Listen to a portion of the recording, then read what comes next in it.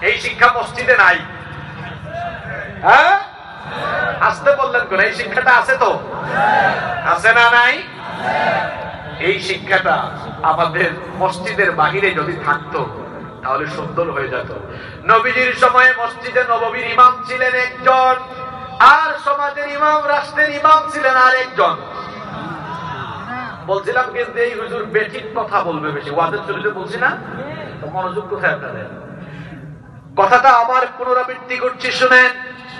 নবীজির সময়ে মসজিদে নববীর ইমাম ছিলেন একজন আর মদিনা রাষ্ট্রের ইমাম ছিলেন আর একজন।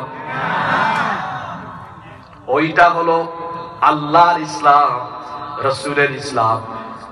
জাতীয় মসজিদের ইমাম হবে যে, সমাজ এবং রাষ্ট্রের ইমাম হবে সে। এটা আল্লাহর ইসলাম, এটা রাসুলের ইসলাম।